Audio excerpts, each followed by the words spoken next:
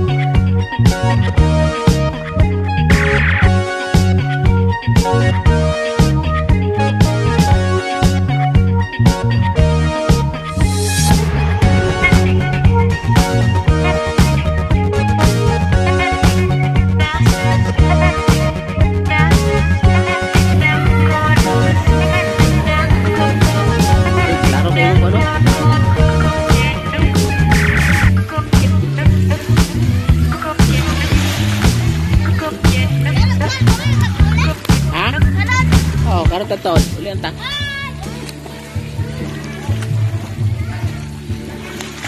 Ya, bisul cuma bukan wajib. Ano ka na? Ini kodak minyak. Gigi, Dahol ako na.